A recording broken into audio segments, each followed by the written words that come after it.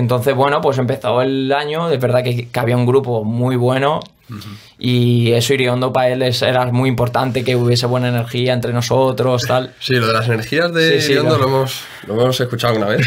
Sí, sí, eso para Nos han hablado muy Sí, bien de él, ¿eh? Sí. muy bien Sí, de sí, él. sí. Y No, a no, Castel eso era- nos ha hablado muy bien de él. ¿Cómo, Eso cómo- era- cómo Bueno, es ¿cómo que es? Iriondo es muy, muy místico, ¿sabes? Muy de eso, de energías. De hecho, si, si ve a alguien en el vestuario que, que, que, pues yo qué sé, el típico que no juega, que se está quejando, que pone malas Sí. caras, que tal, intenta reconducirle siempre al grupo de la buena energía, ¿sabes? Porque dice, este tío, una energía mala es capaz de contaminarme a, Sí, sí. a muchas energías Total. buenas. Entonces, él, él siempre iba por ese lado. Luego nos levantábamos por las mañanas cuando, yo qué sé, íbamos a jugar a Galicia o lo que sea, nos levantábamos por la mañana y lo primero que hacíamos era eh, meditación, ¿sabes?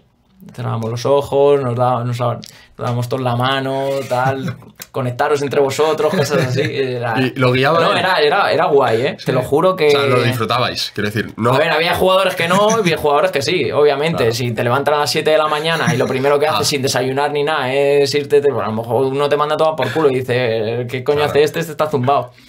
Pero no fue bien, es que la cuestión es que no fue bien así y yo qué sé, ya muchas veces también te lo tomas un poco de coña entre los compañeros y, y él era así, o, o te ibas a la- al campo y, y te dejaba 10 minutos a tu bola que, que- te fueses a un árbol y la abrazases que conectases con la naturaleza. Entonces, sí, sí, no, es No, así. no, eh. Es así, te lo juro que pregúntale a cualquiera que conozca Iriondo. Lo de abrazar árboles es una cosa muy mítica suya, coño. Muy, ¿Ah, sí? muy representativa, sí, sí, no lo sí. había escuchado nunca. Entonces tú te vas allí al medio del campo, tío, te coges un árbol, claro, y ahí 10 minutos pensando, yo qué sé, tío. Pero los 10 minutos abrazado al árbol. Abrazado al árbol, así, Pero- al tronco del árbol. Pero ¿y tú qué pensabas cuando estabas abrazado a un árbol?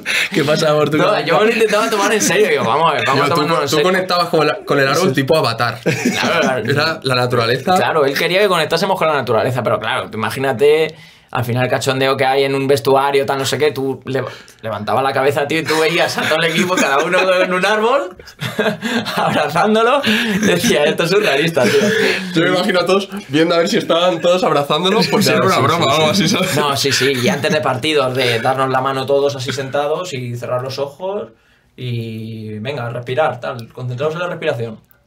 Y era, era así, era muy, Ostras. Muy peculiar en ese sentido. ¿Sabes qué era peculiar? Incluso también, o sea, también había escuchado el tema de más modelo de juego, de manera de jugar que tiene, No, también, no, que, que también es muy tal, no, pero a nivel- o sea, que también le da una importancia, aparte Mucho. de eso a lo que es fútbol, le da una importancia mucho, a lo que es fuera del fútbol. Y el año que estamos en segunda división, dobles sesiones y por las tardes una hora de yoga. ¿Sabes? O sea, él le, me- le metía esas cosas. Y En, bueno, en- en temporada regular, en, en tramos de temporada Sí, que no había dobles sesiones, eso a lo mejor metía una. Es. La doble sesión era eh, yoga o Eso meditación Sí, sí, sí. Era así. Y luego llega.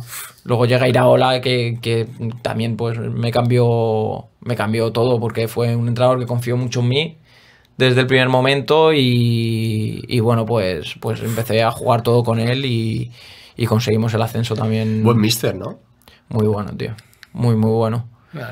Está en la Premier League por algo. ¿sabes? Pues claro, sí, Es- totalmente. Es muy. Es un entrenador que a mí me ha ayudado mucho a, a crecer. Bueno, yo creo que entre Iriondo y él han sido de los entrenadores que más han formado un poco el futbolista que soy. Se han sabido ahí exprimirte ahí al máximo. Sí, yo creo que Iraola ha exprimido mucho mi faceta defensiva eh, a nivel táctico, a nivel tal, y, y, y Iriondo me explotó pues la otra, la forma más creativa, más de salida de balón, más, yo creo que me llevó pues un poco, que Rubén Reyes también me dio mucho a nivel de salida de balón y demás, que él era muy buen mister.